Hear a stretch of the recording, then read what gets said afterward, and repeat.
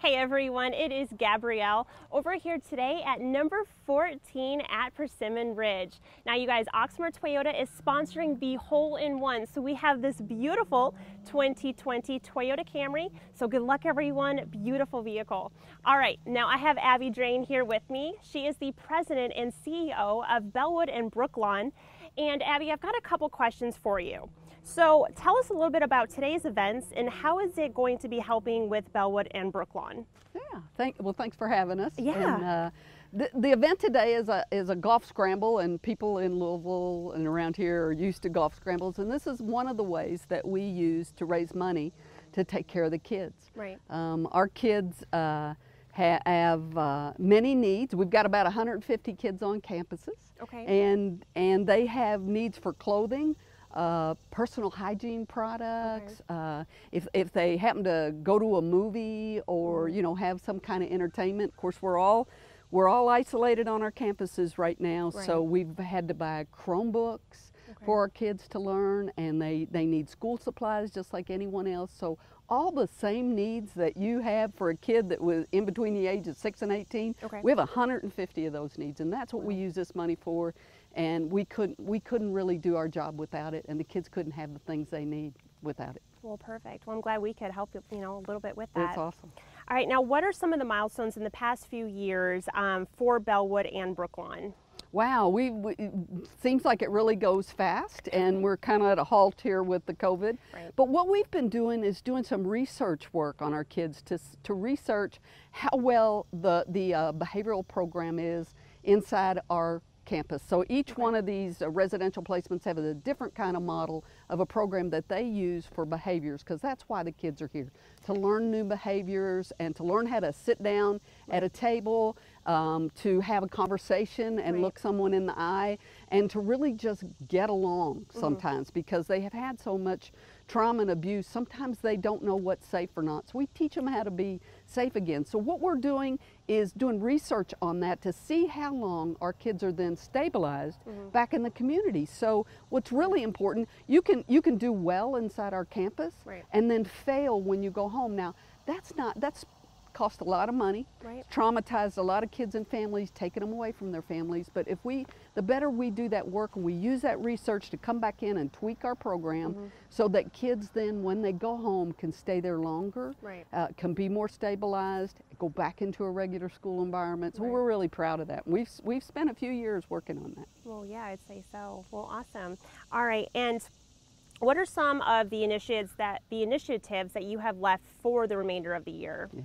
Well, th- this has been a hard year on all of us. We all know that. It's, it's affected our economy, it's affected our relationships, it's affected home life. And so our kids are very much impacted. They've been kept from their parents, they've been isolated on our campuses. Okay. We've used some social media, we've used, uh, again, our, our um, um, technology and Zoom and telephone.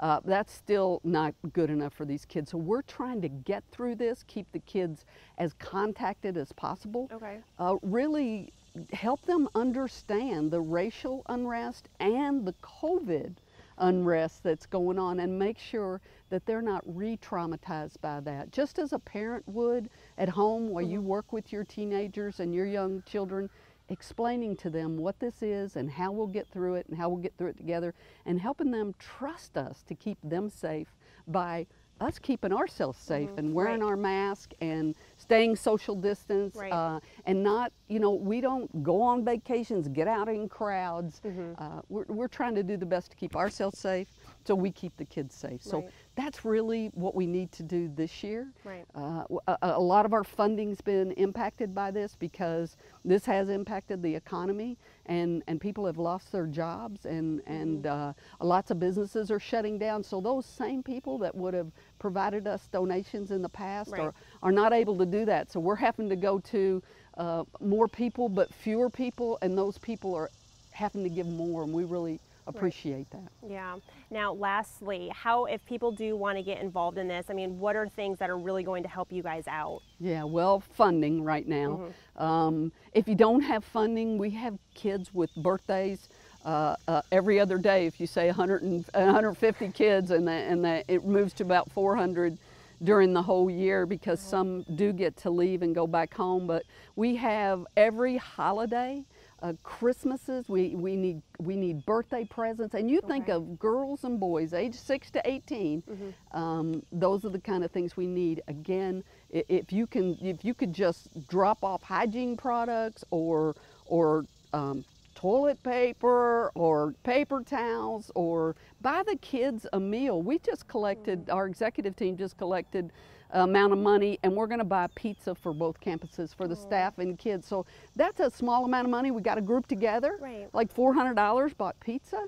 and you can get a group together and, and donate something like that, then, then both the staff and the kids feel some appreciation and some love and they know people out there care about them because again they're they're isolated and, Right. and we're really kept down because our campus is kind of like a nursing home once that starts spreading It's you know it yeah. spreads really fast and and uh, you know it's health concerns. So those are the ways you could help. Get on our website and we have a list of what's needed. We need school supplies.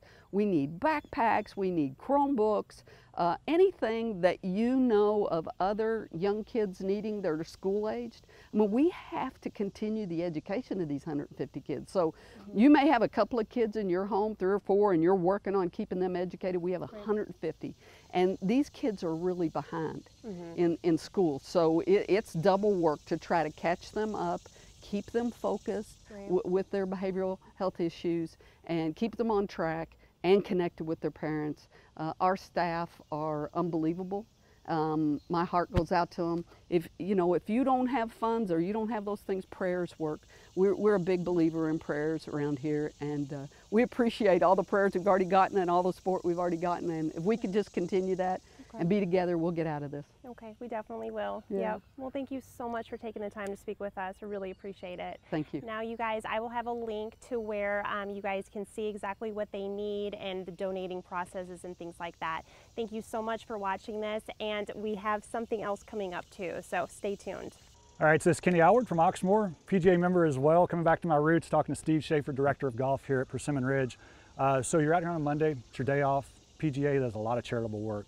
So what's it like for you to be able to donate some of your time and have your facility to help raise money for these kids? Yeah, it's great. You know, we do a number of different outings on Right. Mondays, and most of them are for charitable organizations raising money for uh, great causes. So we're excited to be a part of that. It's really great as a PGA golf professional to know that the game of golf can touch people's lives in so many Right. different ways. It does, it does.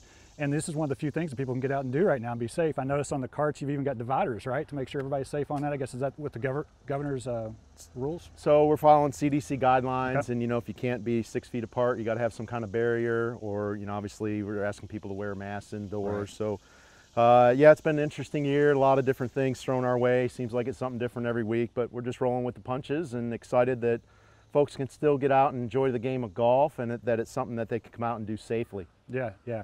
Yeah. So um, the reason we're standing here next to this camera and the reason we're here is we've got this for the hole in one. So I threw the drone up a little while ago and took a look at the hole. I mean, I've played this hole a number of times, but you're the pro here, pro. So Yeah. give me the pro tip. Yeah. How are they going to make this one today to get this Camry? Well, you know, uh, the green is really down in a nice little bowl for Okay. the most part, um, and, and a pretty good slope off the right. So, uh, generally speaking, you want something coming in from the right side because it's going to kick and break a little left. So, if you're looking to, to drop it in the hole, um, you want to sling it in there a little right to left. Good pro tip. Good pro tip right there. Play the odds. And if you do hit it to the right, you meant to do it anyway, right? You didn't Oh, want to hit right. the. That's Yeah, right. Of yeah. course. It was the wind. Well, right? you can bank it off the hill, you know. You call the bank. We're playing slot.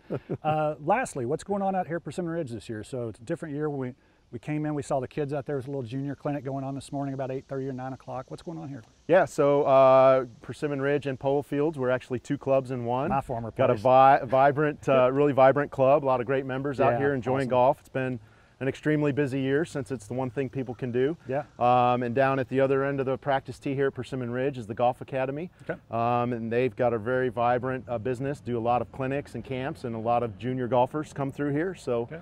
Um, yeah, it's just a very active, vibrant place. And I'll throw a pitch out that uh, we're excited next year since it's Kentucky Open Week this week. Right. Um, next year, we're going to be the host of the, of the Kentucky Open here in, in Kentucky. So we're very excited about that. I had not seen that news yet on the PGA Yeah. newsletter, so congratulations on that. Thanks for all the work that you do with kids and growing the game of golf here in the area. I know your wife does as well, so there's a part of your family and has been for a long time. So Hope you got some tips here on 14. If you need more tips about how to play Persimmon Ridge, you know where to find this guy. Director of Instruction.